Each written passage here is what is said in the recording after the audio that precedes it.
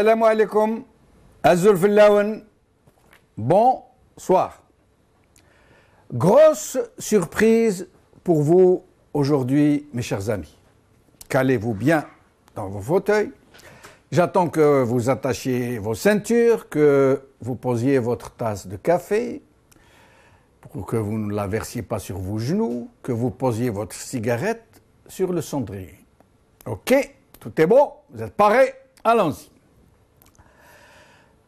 Ce matin, je cherchais des informations pour le sujet d'aujourd'hui, l'élection du député Tliba à la vice-présidente de l'APN. Un non-événement en soi, mais dont il faut bien parler pour rester arrimé au train des jours gris et mornes, au train FLN, RND et autres CLL. J'ai donc été sur ma boîte mail pour voir si j'avais une réponse d'un apparatchik du FLN à qui j'avais proposé de venir nous expliquer un peu ce qui se passait dans la combuse. Et là, je tombe sur un courrier émanant d'une adresse inconnue. J'ouvre, je lis, et je suis tellement sidéré que je me dis tout de suite que c'est un canular. Sauf qu'à la fin de la lettre en question, puisque c'était une lettre, l'expéditeur, dont je vais vous dire le nom dans un instant, me demande de l'appeler sur un numéro de téléphone personnel qu'il me donnait dans le courrier pour bien confirmer que c'était lui qui en était l'auteur. Je prends donc mon téléphone et j'appelle le du numéro en Algérie. Allô, salam alaikum, voilà, je suis la personne à qui vous avez envoyé le mail, je vous appelle comme vous me l'avez demandé. Ah me répondit-il tout de suite. Salam Khouya Jamal. Khouya Jamal Din. Comme ça qu'il m'a appelé. Oui, c'est bien moi. Je confirme que je suis bien, tenez-vous bien, que je suis bien Saïd Bouteflika. Mais comme je suis naturellement méfiant pour m'être fait brouetter tellement de fois, je lui dis que cela ne prouvait rien, qu'il était peut-être un bon imitateur. Alors il me donne son identifiant Skype et me demande de le contacter par ce biais. Je m'exécute sur le champ. Et devinez qui apparaît sur mon écran? Saïd Bouteflika en personne, avec un air malicieux, habillé d'un sourire moqueur. Voilà, me dit-il, vous avez confirmé, c'est donc moi qui vous ai envoyé cette lettre. Au plaisir de vous voir. Et il raccrocha sans plus de façon. Voilà. J'imagine qu'il ne m'a pas envoyé cette lettre juste pour me faire plaisir, à moi.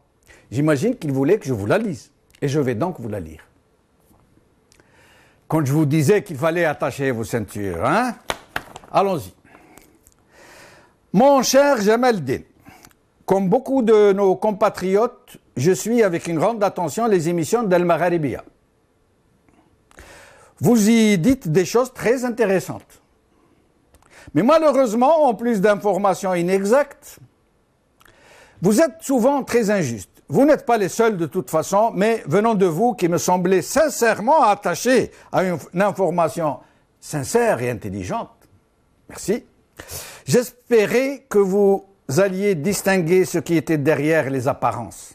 Mais en vain, malheureusement. Vous n'êtes pas vraiment différent des autres puisque vous ne savez pas lire. Non pas seulement entre les lignes, mais surtout derrière les mots, derrière les images, derrière les apparences. J'ai voulu alors vous ouvrir mon cœur, vous révéler certaines vérités que vous ne voyez pas. Je ne sais pas ce que vous ferez de cette lettre, si vous allez la rendre publique ou non, je vous laisse le choix, comme je le confie au destin et aux forces supérieures qui tracent nos routes. Pour de très nombreux Algériens, dont vous-même, je suis cet homme qui personnifie le mal, le vice, la ruse, la confiscation de la volonté populaire. Vous dites et vous répétez que je suis l'homme de la France, que je suis un voleur, que j'ai pris mon frère en otage, que je prends toutes les décisions en son nom. Vous dites aussi que j'ai volé des milliards de dollars, que pour prendre la totalité du pouvoir, j'ai nommé des centaines de généraux, que j'ai tous corrompus, que j'ai tous compromis et sur lesquels j'ai des dossiers très lourds. Vous dites aussi que la France m'a aidé à faire pression sur tous les grands barons du régime, parce qu'elle dispose sur eux de preuves accablantes, non seulement sur des blanchiments massifs d'argent détourné, mais aussi sur des crimes contre l'humanité commis pendant la décennie tragique. Vous dites aussi, entre parenthèses, il écrit très bien Saïd vous ne trouvez pas? Bon, je continue.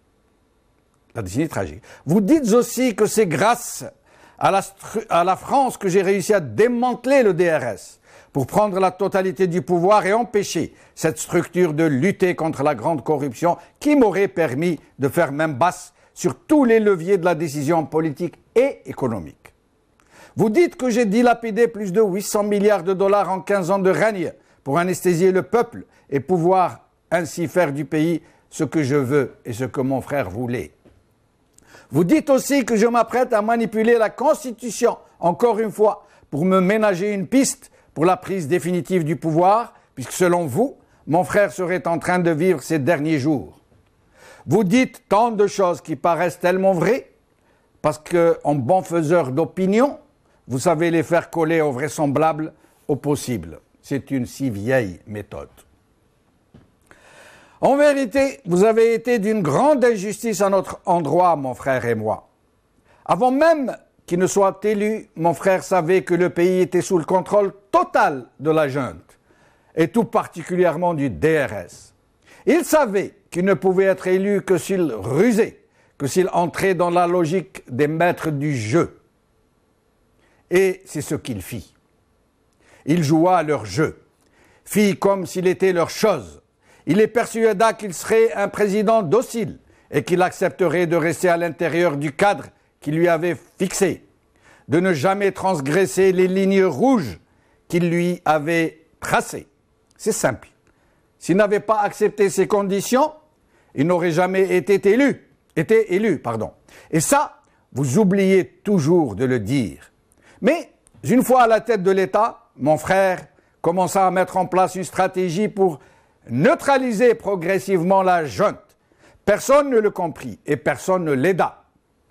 À la fin de son premier mandat, les faiseurs de roi décidèrent de l'évacuer, de le chasser et de le remplacer par quelqu'un d'autre qui pouvait offrir plus de garanties pour eux, qui soit plus contrôlable.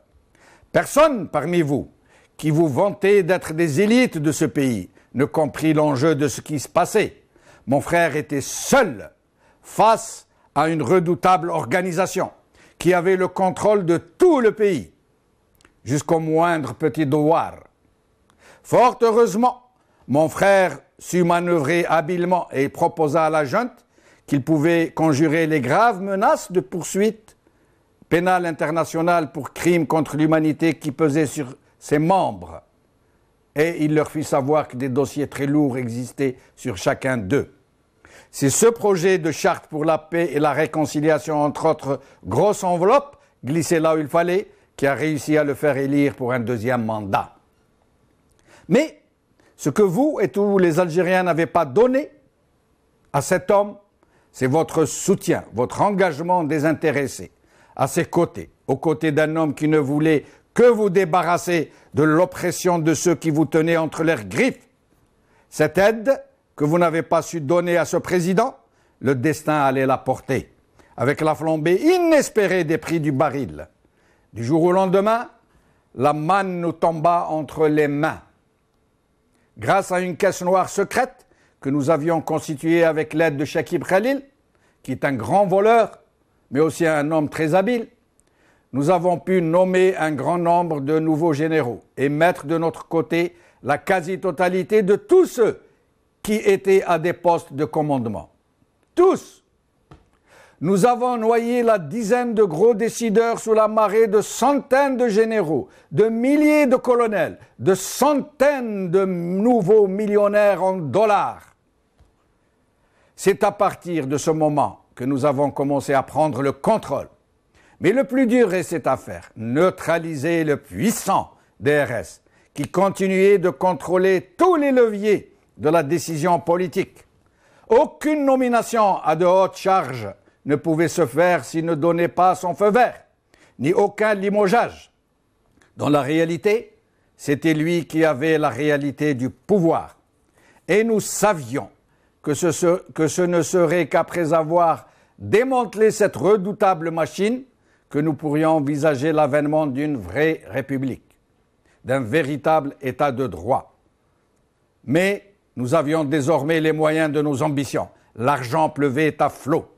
Pour neutraliser toute velléité du DRS, de provoquer des émeutes populaires, comme il sait si bien le faire, nous n'avions pas d'autre choix, même si cela était déplorable, de corrompre, oui, c'est bien le mot, le maximum d'Algériens que nous pouvions. Ce n'était ni juste, ni encore moins moral, mais comme je le viens de le dire, nous n'avions pas le choix. Il nous fallait avoir la paix sociale si nous voulions aller jusqu'au bout de notre rêve, rendre l'Algérie aux Algériens, tirer la chasse d'eau de l'histoire pour évacuer tous les parasites qui infestaient la vie publique, qui se sustentaient de notre sang et de l'avenir de nos enfants. Mais les vents ne soufflent pas toujours au gré des voiles. Mon frère eut un premier accident très grave en 2005. En fait, contrairement à ce que nous avions déclaré, c'était un AVC. Mais malgré la violence du choc, mon frère avait gardé la presque totalité de ses facultés cognitives, mais il était épuisé. C'est moi qu'il chargea d'assumer ses fonctions de façon invisible, en son nom. C'est à partir de cette période que j'ai pris en main les rênes de la présidence, en 2005. Et j'ai continué sur la même lancée.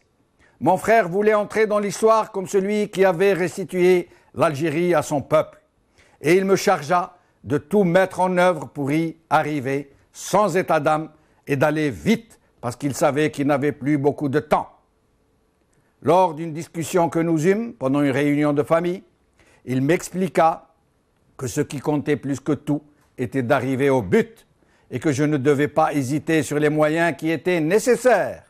C'est pour cela que nous, n'avons reculé ni devant la corruption, ni devant la manipulation des opportunistes, ni devant l'impératif de mettre de notre côté des puissances étrangères qui ne fonctionnaient qu'en fonction de leur propre raison d'État.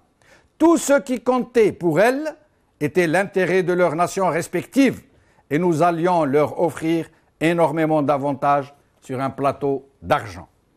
Le deuxième effet pervers qui vint malheureusement bouleverser notre objectif fut le deuxième AVC de mon frère. À un moment où nous le préparions pour un quatrième mandat, pour pouvoir enfin finir le travail. Malheureusement, cet accident-ci fut terrible. Malgré tous nos efforts, il avait perdu de façon irrémédiable la totalité de ses facultés. Il n'était tout simplement plus là. C'était comme s'il était mort. Il m'a laissé tout seul face à un défi plus grand qu'une montagne au milieu d'une faune vorace. Mais si l'article 88 avait été activé, s'il avait été déclaré dans l'incapacité d'assurer ses fonctions et de prétendre à un autre mandat, c'est comme si nous n'avions rien fait. Tout allait revenir à la case départ et pire encore, puisqu'avec l'argent disponible, le régime allait pouvoir tout acheter. Toute la responsabilité m'incombait désormais. Il fallait que je prenne de graves décisions. Et j'ai fait ce qu'il fallait faire, avec une détermination d'acier. Je n'avais rien entrepris de sérieux pour préparer ma propre candidature à la succession de mon frère. Alors j'ai usé de l'argent qui était à notre disposition et qui était sous mon contrôle pour faire en sorte que mon frère soit réélu, entre guillemets, je le concède, malgré son état. J'ai acheté tout le monde, y compris des puissances étrangères, et j'ai payé très cher avec l'argent des Algériens. Mais c'était pour eux que je le faisais. Et là, en ces terribles circonstances, j'ai su ce que la nature de l'homme était vraiment. J'ai vu dans toute son ampleur la laideur de certaines natures. J'ai vu comment des gens, y compris ceux qu'on pensait être les plus honnêtes, les plus droits, les plus moraux, pouvaient être corruptibles. J'ai acheté de vrais révolutionnaires, des intellectuels, des universitaires de haut vol, des hauts gradés, des chefs d'État étrangers, des personnalités islamiques de renommée internationale. J'ai viré des sommes énormes à un tas de gens que les gens croient au-dessous de tout, au-dessus de tout soupçon. Certains juste pour prendre la pose devant mon frère et venir ensuite déclarer à la presse que celui-ci était en bonne santé, que c'était lui qui décidait de tout, alors qu'ils avaient assisté à des séances très pénibles. En vérité, pour pouvoir enfin me soulager d'un poids que je ne peux plus porter tout seul, mon frère, comme vous l'avez dit vous-même, mon cher Jamel Din, n'est pas seulement incapable de réciter la table de multiplication de 2, mais même celle de 1. Il n'a même pas 10 minutes de lucidité par jour, et il lui arrive de ne pas se rappeler de son propre nom. Et il n'y a pas un seul ministre, ni un seul patron de presse, ni un seul officier général du haut commandement, ni un seul chef d'État étranger qui ne le sache pas. Il y a des milliers de hauts responsables et de journalistes algériens qui sont complices de cette utilisation frauduleuse de l'institution présidentielle. Pour ma part, j'ai ma conscience pour moi, je m'y suis prêté pour l'intérêt de la nation. Les autres complices ont été payés pour jouer le jeu. Il y a tellement de choses à dire sur cette énorme opération qu'il me faudrait écrire un ouvrage de plusieurs milliers de pages pour n'en décrire qu'une toute petite partie. Le jour où les opinions publiques internationales auront le fin mot de l'histoire, elles découvriront ce que leurs chefs d'État, leurs ministres des Affaires étrangères et même leurs journalistes leur auront caché au nom de la raison d'État. La prise d'otage de Abdelaziz Bouteflika va entrer dans l'histoire des nations et chacun sera jugé selon ses intentions, ses intentions. Fort heureusement, merci à Dieu, les nôtres sont nobles. Pour ma part, même si beaucoup reste à faire, je peux dire que nous avons réussi, mon frère et moi, à rendre à l'institution présidentielle toutes ses prérogatives, et plus encore.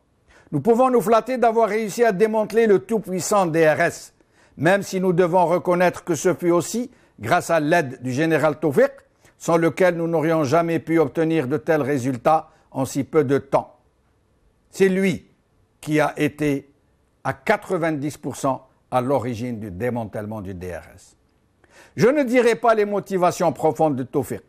Ce n'est pas à moi de le faire. Quoi qu'il en soit, quand viendra le moment de me juger, n'oubliez pas que tout ce que j'ai fait, je l'ai fait pour extraire ce pays des griffes de ceux qui le dévoraient tout cru. Désormais, c'est sur vous que vous devrez compter. Je ne peux plus continuer à faire souffrir mon frère parce que les Algériens ne savent pas ce qu'ils endurent qu'il faut des heures de tournage pour obtenir 10 secondes d'image présentable. Il lui est arrivé de s'évanouir, de pleurer de douleur, de rage. Il a trop donné, et moi aussi. C'est fini. Ni mon frère ni moi ne pouvons continuer. Nous avons trop souffert. C'est aux Algériens de jouer à présent. Nous avons fait tout ce que nous avons pu, et plus encore. Merci et bonne chance. Signé Saïd Bouteflika, conseiller spécial auprès du président de la République algérienne, post-scriptum. Et puis non, non. Ce qui est écrit en post-scriptum est trop important pour vous le dire maintenant. Je vous le dirai tout à l'heure. Aujourd'hui. Renouvellement des structures du FLN à l'APN. Paris réussi pour Ammar Saadani par Nadia Mellel. Tout des aides. Beha Tliba, élu vice-président de l'Assemblée populaire nationale. Par A. Tawi. En Nahar El Jadid. Beha Tliba, élu vice-président de l'Assemblée populaire nationale. Par D. Smeril.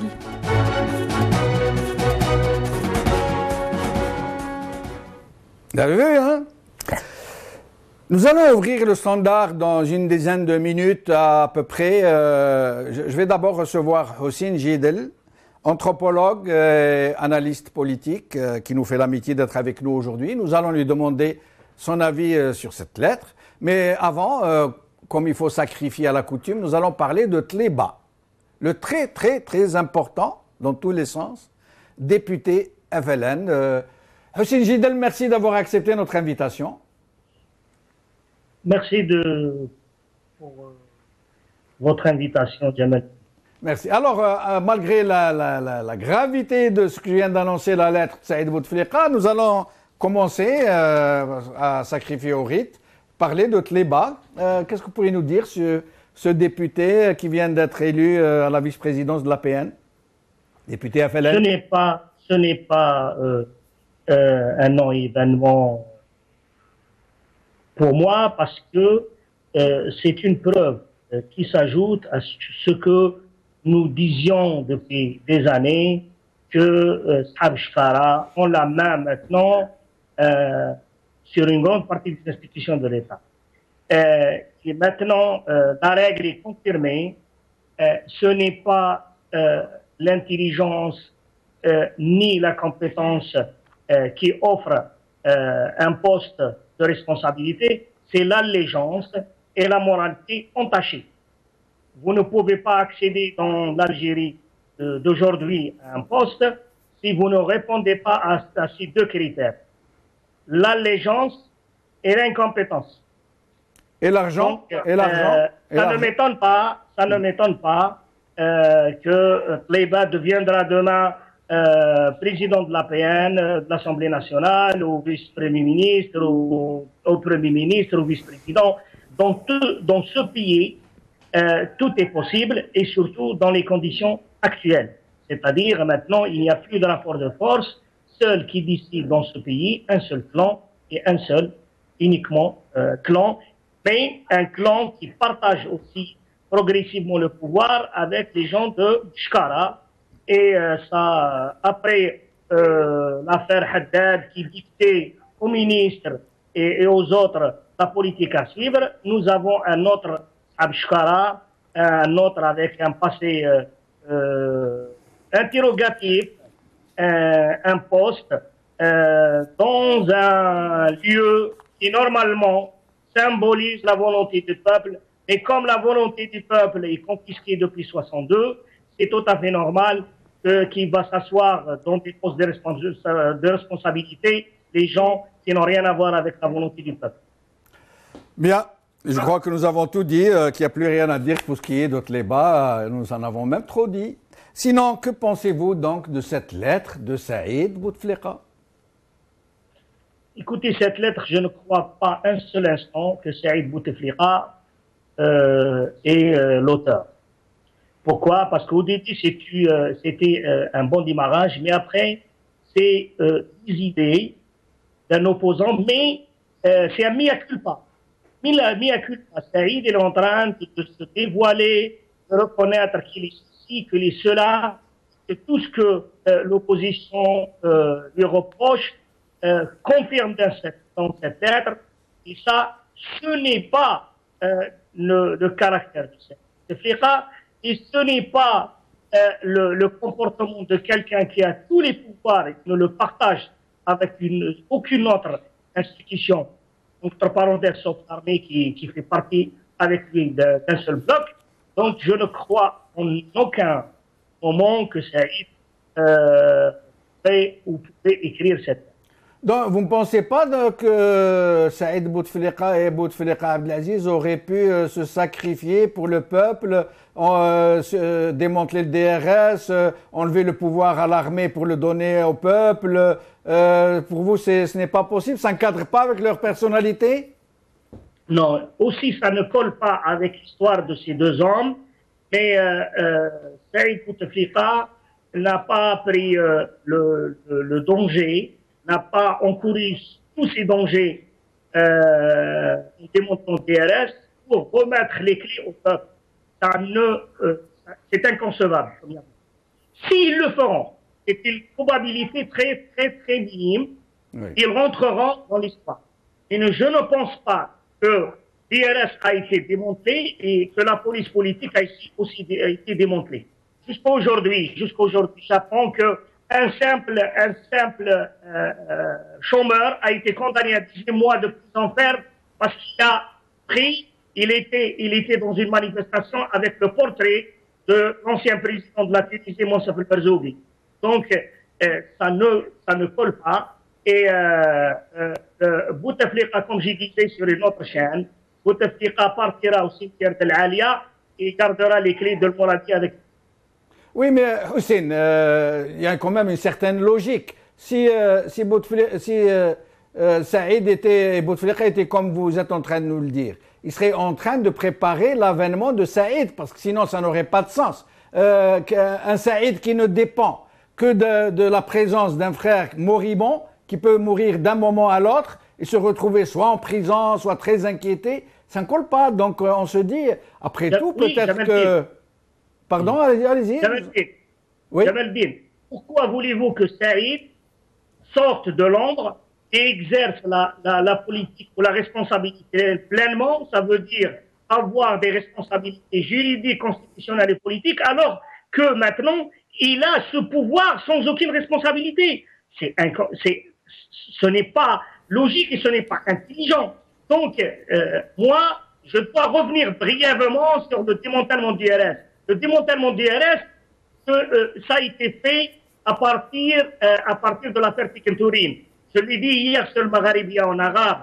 Et, et ça veut dire que c'est une, c'est une volonté aussi étrangère de démonter le DRS parce que le DRS, après Tegenturini, après la découverte euh, l'année passée des liens avec euh, euh, des liens des terroristes ont été massacrés en Tunisie à la frontière tuniso-algérienne, on a trouvé sur leur téléphone un numéro de téléphone des caserne de DRS, a donné aux Occidentaux, notamment aux, aux Américains, que DRS maintenant devient dangereux.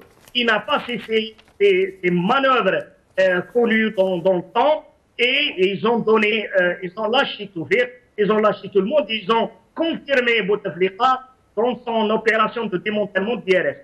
Par contre, la goutte qui a fait euh, déborder le, vase, c'était la veille de l'Aïd quand on a tiré sur le, quand on a tiré sur le frère du président, ce qui constituait, constituait pour les Bouteflika une tentative de putsch. Et, donc, euh, le démantèlement de DRS, ce n'est pas une volonté euh, endogène de Bouteflika, c'est une euh, volonté qui a, exogène. dire Jamal dit, Bouteflika, il a dit le jour de son arrivée, je ne, pas, je ne veux pas être Mais si Bouteflika avait vraiment Hussein, on vous entend. Hussein, le son s'est un peu dégradé. On va vous appeler au portable et vous restez avec nous sur Skype. Euh, à présent, nous allons recevoir quelques appels. Euh, alors, euh, avant, de, recevoir notre premier invité, Abdelaziz de Borj je vais vous lire ce qu'il y a écrit sur le post-scriptum de la lettre. Post-scriptum, cette lettre est un canular. Merci. Abdelaziz de Borj Allô Oui, Abdelaziz, je vous en prie. Mes salutations, M. Bechenouf. Mes salutations, M. Abdelaziz. اهلا بك والله يبارك فيك الحمد لله يعيشك تفضل Moi je connais pas ce Tliba, Tliba, moi j'ai pas compris. Tliba et le train-train. Ouais. Oui, le Tliba, c'est le Baha Eddin, le député avalin qui est devenu vice-président de l'APN. Le train-train, ça veut dire la routine, quoi. Ça, ça veut dire le train-train sous trois fois. Ouais, si vous voulez. Si vous Franchement, voulez. Hein. Oui. oui. Je connais pas ce Tliba mais le train-train, le train veux trois fois. Euh, merci, merci beaucoup. Euh, alors je prends Hassan de Hassan? Abdelaziz Hassan. Abdelaziz Hassan, journaliste. Oui. Nous l'avons perdu. Zohir de Tizi Ouzou. Zohir, merci d'être avec nous. On l'a encore perdu, il y a un souci. Euh, on, euh, euh, nous allons revenir à Houssine, que nous nous permettrons d'interrompre aussitôt que les appels commenceront à venir. Houssine, donc voilà, c'est un canular. Vous aviez raison. Oui. je vous dis, ça colle pas. On ne se bat pas de telle façon. N'oubliez pas que Saïd, l'erreur monumentale de DRS, ils ont sous-estimé Saïd. Ils l'ont sous-estimé et ils devaient faire attention euh, dans leur guerre avec euh, ce gars quand il a pu euh, humilier qui? Le faiseur des présidents, Général Belkher. Général Belkher a été, a été humilié, humilié, humilié puisqu'il a été d'une façon incroyable. Incroyable, il a été muté de directeur de cabinet à ambassadeur au Maroc. Restez avec nous, Hussein. voilà. Nous allons recevoir quelques appels. Brahim de Bjaya. Allô, Brahim Salut, Jamal. Ahlan bik, Brahim. Marhaba. Merci. Je voudrais vous poser une question au sujet de la lettre de, de, de Saïd. Du frère du, du président. Oui. Est-ce que réellement il vous a écrit ou bien il s'agit d'un canular? Eh ben, c'est un canular. Je, ah oui. je, voulais mettre un peu de piment dans votre euh, café. Merci bien. ah. Mais sinon, sinon, vous auriez voulu que ce soit vrai? Voilà. Donc, nous n'avons plus Brahim. Euh, Zoher de Tizi Ouzou. Bonsoir, bonsoir M. Bouchounouf. Bonsoir Zoher, euh, merci d'être avec nous. Je voulais poser la question par rapport à les attestations actuellement en Algérie. Oui, je vous en prie. Oui, c'est le pouvoir mafieux qui est en train de gérer ce pays. Oui, en effet. Oui, c'est la mafia qui gère ce pays.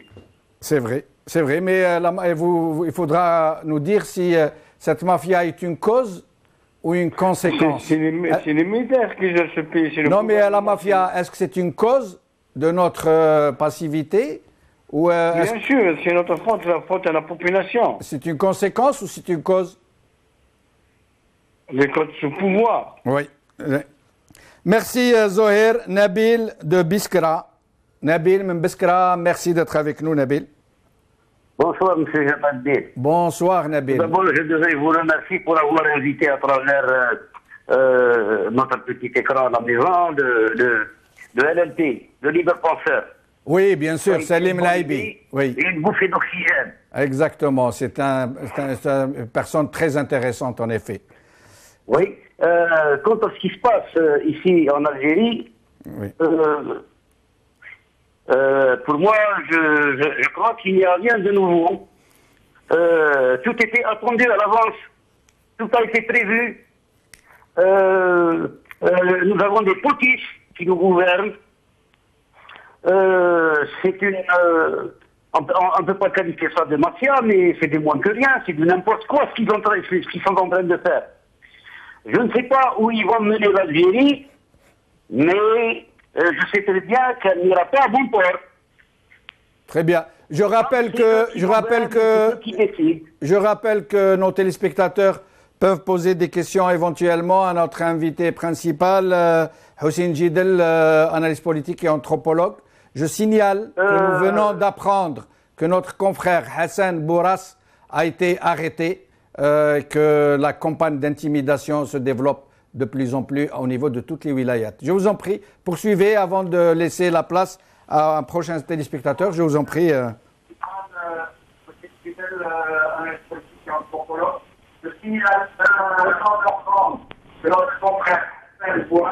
On vous entend très mal, hein on vous entend très mal. Euh, je, Mohamed Menbjaya. Mohamed? Bonjour Jamal. Bonjour, bonjour Mohamed, merci d'être avec nous. Je, intervenir euh, sur votre chaîne. Je vous en prie. Écoutez, ce qui intéresse les Algériens, c'est pas euh, la détention de, personnes, d'un général ou d'un autre. Ce qui intéresse les, les Algériens, c'est la construction d'un État démocratique, un État de droit où les lois doivent être appliquées sur tout le monde. Je pense que le mal est très profond en Algérie. Le mal est très profond. Même, même euh, si je me permets de, vous dire que votre chaîne a toujours cautionné euh, une certaine partie qui a fait un malheur pour l'Algérie. Oui. Allô, vous m'entendez Oui, oui, on vous entend très bien. Euh, voilà. Oui. bon, cher ami Jamel, je, les Algériens doivent se mobiliser afin de préserver leur pays. Et je vous remercie. Merci beaucoup. Euh, S'il n'y a pas d'appel, je reviens à Hussein. Euh, euh, on vient d'apprendre que Hassan Boras, euh, notre confrère, vient d'être arrêté. Il y a deux jours, un- quelqu'un qui m'a demandé de ne pas citer son nom, un- une personnalité très connue au niveau des droits de l'homme en Algérie, m'a signalé que une véritable campagne d'intimidation s'était mise en marche pour essayer de faire taire les gens en prévision de ce qui est en train de se préparer visiblement, un changement profond, euh, une reconfiguration du régime. Qu'est-ce que vous en pensez? Ça ne m'étonne pas, ça ne m'étonne pas parce que euh, dans l'état actuel des choses, euh, le pouvoir actuel ne veut plus des éléments mobilisateurs et des éléments qui peuvent être à n'importe quel moment dans la rue. Donc euh, pourquoi? Parce qu'il y a une suspicion que euh, le, le DRS et quelques militaires et leur euh, ici et leur et compagnie essaye de, euh, de créer une situation conflictuelle dans la rue. Et donc, si ça s'ajoute Oui, oui. à ces éléments, ce n'est pas, ce n'est pas gérable. Et Oui. donc, c'est une prévention. Restez avec nous, Hussein. Slimane Batna. Slimane Slimane من Batna. السلام عليكم وعليكم السلام اهلا بك سليمان ميرسي d'être avec nous. آه، وأنا بغيت آه، اسكو سي بوسيبل تعطيني لو ميل تاعك آه، حبيت نكتب لك كلكو مو Euh, معليش درك euh, ترجع مع سامية elle va vous le donner mais sinon c'est jamal jamal.benchenouf arrobase yahoo.fr on va essayer de vous l'écrire en bas de l'écran sinon vous avez un commentaire à faire vous avez un commentaire ساليو السلام عليكم من باتنا بارك الله فيك اهلا بك آه، وسلمنا على جماعه باتنا وجماعه آه، لي- السطون وليزالي وباتنا كامل بارك الله فيك آه، كمال من بجايه كمال الو الو كمال من بجايه السلام عليكم عليكم السلام اهلا بك كمال بونسوار مسي جمال bonsoir euh, Kamal euh, comment allez-vous Je suis en direct. oui oui vous êtes en direct Kamal Euh, Jamal, je vous, je vous remercie d'abord pour votre émission. Euh, vous avez pratiquement touché à, à tous les, les sujets euh, qui, qui, qui nous préoccupent en Algérie. merci Euh, donc, euh, j'aimerais. Bon, je, je, je suis arrivé un peu en retard, donc j'ai pas vraiment euh, suivi le début de l'émission. Oui. Mais paraît-il, vous parlez de, du DRS, de, du frère de, de Abdelaziz Bouteflika. oui Alors, euh, donc, euh, pour nous, euh, en Kabylie, nous avons vécu pendant trois ans, avec la période des Harouches, nous avons vécu la période de répression, la période. Donc, euh, ça ne nous étonne pas. Euh, Tout, tout ce qui vient de ce régime, euh, ça ne nous étonne pas. Mais à, force du temps, on banalise un peu les choses. C'est-à-dire c'est ce qui est dramatique en Algérie. C'est-à-dire les gens se sont un petit peu habitués, habitués avec tous ces dépassements. Donc c'est malheureux. Les partis politiques, l'activité des partis politiques est pratiquement gelée. Euh, donc on voit tout le bout actuellement. oui c'est malheureux c'est vrai que la banalisation euh, est la pire Oui. des choses qui puissent euh, ouais. en politique la banalisation est très malheureuse Euh, merci beaucoup, Mohamed, de, si je prononce bien, de Dagenheim, Grande-Bretagne. Mohamed Mohamed مال السلام عليكم وعليكم السلام اهلا بك سي محمد أهل- اهلا جمال خويا آه، quel honneur d'avoir Jamal au, au bout du fil. Ah, merci J'ai qu'un beaucoup. seul mot Merci. à dire Anaya. Je vous en Parce que prie. si je vais commenter, je vais, je vais commencer à insulter les voyous. Euh, tu- Est-ce que tu vas nous faire croire qu'il y a euh, que Père Noël existe وتبغي نقولها لك بالانجليزيه قولها لي قولها لي Do you want us to believe Santa Claus coming around? Ah voilà. no, no, I don't believe. Ok. Je n'y crois pas un seul instant. Oh, mais, ok. mais on aime bien rêver. On aime bien faire rêver les gens. leur donner cinq minutes de bonheur ou d'espoir. Quel rêve Ouais, quel rêve. نتغاشى Ouais, c'est- هذا بونجور à toute l'équipe ان شاء الله وعلى كل المجاهدين والمشاكل اللي راهم يسافروا كيفنا ربي السلام يبارك عليكم. فيك خويا السلام ورحمة السلام الله عليكم. السلام شريف آه، من باريس شريف de Paris Bonsoir, euh, M. Bonsoir. Bonsoir à tout le monde et à ton invité aussi. Je voulais juste poser une petite question par rapport à ce canular. Oui. Euh, et je, je, pose la question de est-ce que certaines personnes de l'opposition ne contribue pas à, se, à, se, à, diffuser, à faire croire au peuple algérien ce même canular en prêtant à Gay Salah et sa clique, et tout le monde connaît Gay Salah, et, et, et le, le, la mainmise sur Annaba par ses enfants et sa famille, etc., euh, euh, est-ce qu'on certains de l'opposition ne participent pas également à faire croire ce canular-là aux Algériens? Wa salam, barakallahu fik. Euh, euh Hussein, euh, donc... Euh, les uns pensent que c'est- un trop beau rêve qu'il est impossible à réaliser quasiment autant que de croire en le Père Noël Euh, ils sont à ce point euh, négatifs ces gens du régime pour, pour ne pas permettre ne serait-ce que l'once d'un espoir d'une possibilité d'une illusion? Non, ils sont, ils sont, ils sont négatifs, oui, mais ils sont aussi puissants par défaut, parce que euh, rien ne se fait sans le, sans le peuple. Donc maintenant, les, les- les- je rejoins et je réponds à la question de, de. Euh, les gens qui font circuler qu'il y a une poignée de, de militaires, euh, de régimes qui veulent euh, un régime euh, euh, qui représente la volonté du peuple, un État civil, etc. Ça, c'est du rêve. Dans l'histoire, le pouvoir ne se donne pas, le pouvoir, ça s'arrache. Ou le peuple?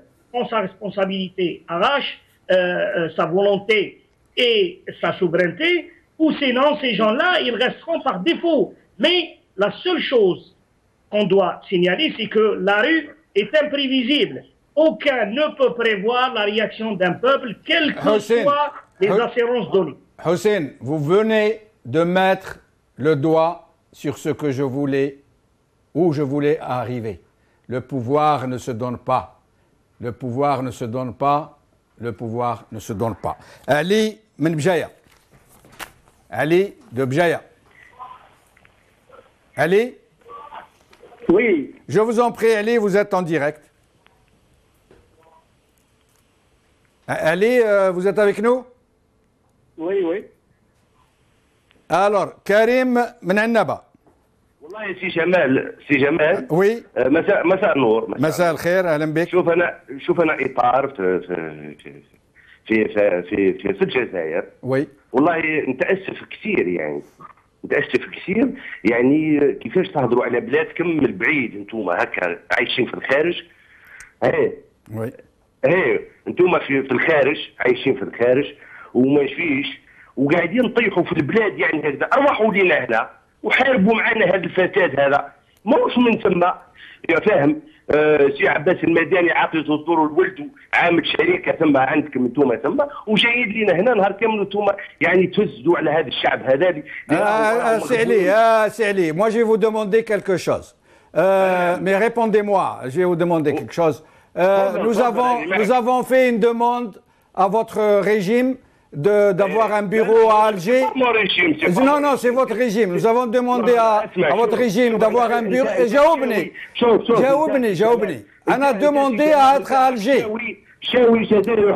معليش يا خويا معليش معليش nous avons demandé à l'État algérien واش قاعد تعمل ثم في لندن ثم يعني نهضر معاك نهضر معاك أنا انا قلنا لك باللي انا طلبنا باش نجيو نحلوا مكتب في الجزائر ما قبلوناش تقدر تشوف لنا انت لربما يعطيونا لوتوريزاسيون نجيو نعاهدك نجيو كل الجزائر حنا nous sommes la seule télévision algérienne de statut étranger à qui on a refusé l'installation à Alger. La seule. Est-ce que vous pouvez nous, nous arranger l'affaire avec Jma'a يعطيونا l'autorisation Il n'est plus avec nous, le monsieur. Hassan Hassan من لا Suisse. Hassan, تفضل سي حسن. Ok. Je vous en prie. Salam alaikum. Wa alaikum salam wa euh, c'est Jamel. Je vous en prie, vous êtes en ligne. Euh, tfadal, c'est Hassan. Alors, je suis en train d'écouter, je suis vraiment, mais euh, tout le monde sait qu'il y a une mafia en Algérie. Déjà, vous parlez de régime, il ne fallait même pas employer ce terme parce que c'est un régime bananier, oui, de bananes. Oui, en effet tout le monde sait ce qu'ils font. Tout le monde sait que l'Algérie est corrompue, que c'est des voleurs, que c'est des voyous, mais tous, sans exception, tout le gouvernement et leurs frères, leurs frangins, leurs frangines, etc. Tout le monde le sait, personne ne bouge. Premièrement, c'est la, population qui doit bouger. Et autre chose, on ne peut pas employer euh, le nom de régime pour ces, ces gens-là. Oui, C'est des voyous, c'est de la mafia, c'est la mafia. oui. C'est de la, pas, pas plus. Et je vous remercie. Merci beaucoup. عمار من جيجل عمار عمار من جيجل ألو السلام عليكم وعليكم السلام أهلا بك سي عمار بيك ولا تحياتي سي كمال أهلا بك بون اسكو نقدر نتكلم باللغة العربيه تفضل لك الفضل أنا بغيت الأول كنت نتكلم في موضوع ودرك بغيت نعقب على الاخ الكريم اللي اللي كان يعني ينشر القناة. نعم. تفضل. أنا كنت في الامن العسكري وي. كنت في الامن العسكري وشفت النظام اللي سيت اون كونتينيتي نتاع نتاع الريجيم تاع فرنسا. استمراريه تصورهم لي كونتين فهمت؟ دروك السيد هذا يحوس يقول لك روح للجزائر إطار. وراني إطار. إيه. والله راني مستحي عليه في بلاصتو بزاف. وسمحوا لي سي كمال. بارك السلام عليكم. بارك الله فيك. بقى على خير خويا. آه، كريم من الجزائر. كريم؟ السلام عليكم. عليكم السلام ورحمة الله. أهلا بك سي كريم. أهلا تفضل بك خويا وشكرا لاباس لاباس يبارك فيك. الحمد لله عيشك. تفضل. واش الاحوال اللي عندكم يا خويا. واخويا أنا لاباس نتكركبوا مع الدنيا. مرة هاك ومرة هاك حتى حتى آه، لا بأس، الله هذا- هذه. وسمعتوا ما خدمتكم؟ كيف أخويا؟ نعم خويا. إيه تفضل. إذا عندك شما تهدر تفضل. عندي واش نهضر ايه يا ودي نقول لكم التو التو- ايه صح ايه السلام عليكم أه كش معنا واحد اخر كالكان دوتر الور أه ما عنده ما بقى ل- للحصه Euh, Hussein, euh, monsieur vient de nous appeler. Ça arrive de temps en temps quand on ouvre le standard. Je rappelle que Magharibia ouvre le standard sans contrôler les appels. Que, donc, euh, il, se- il arrive que des gens comme ça arrivent pour nous insulter. Pour, c'est normal, ça fait partie du jeu. Euh, je- euh, je on va prendre un dernier appel, euh, puis nous revenons à Hussein pour clôturer. Euh, Mahieddin Memblida. Merci Jamal. Mahieddin Ahlenbeek. Ben, bonsoir. Bonsoir. Moi, je voulais un peu partager mon inquiétude parce que les nouvelles ces derniers jours prouvent le mal profond que vit l'Algérie. Oui. Les arrestations, euh, même de, de- de certains hommes d'affaires importants sont malmenés, une véritable guerre des clans. On se demande où ça va aller. Moi, je, c'est- ça. Oui. Et entre-temps, le peuple reste passif. Moi, je crois qu'il est grand temps que l'opposition fasse quelque chose. Euh, l'opposition doit se réapproprier la rue. On doit, si la, si la- si la rue est sécurisée, vous- demain vous aurez 10 millions d'Algériens qui vont sortir parce que cette situation devient inacceptable. Il est hors de question de continuer comme ça. On va assister passivement, euh, comme ça, des guerres des clans, à une guerre de mafieux. Ça ne peut pas durer. C'est hors de question. Moi, moi, je suis très inquiet pour l'avenir d'Algérie. Ça ne peut pas continuer comme ça. Et c'est pour ça que euh, je lance un appel à, euh, cette opposition. Au lieu de... la dernière fois, j'ai entendu Sofiane Djiveli qui parlait de, de, de, de, gens passifs. Non, sécuriser la rue. Nous sommes des pères de famille. Il y a des, il y a des gens, des, des gens qui, qui ont des responsabilités, etc. On ne peut pas comme ça.